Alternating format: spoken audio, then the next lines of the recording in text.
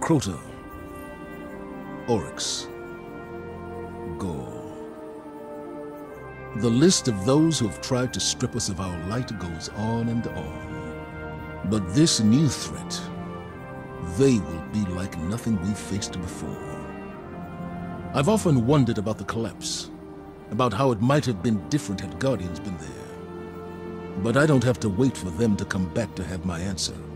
It's already standing right in front of me. They claim to be our salvation. No. We will be theirs. I take it you've already spoken to Ikora. I'm glad you're taking this Vex business seriously. Sometimes I worry that all your successes will blind you. After all, what are a few Vex on the moon to a Guardian who has killed gods? The Vex would not press us now if they did not think they could win. They operate on pure probability, and I'm sure you are key in their calculations. But I trust you. Lead the charge.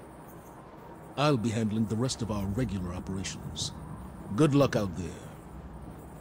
Be brave. But I still have time for you. The Undying Mind. If we could kill it now, we could secure Luna from the Vex. But the Mind is moving between...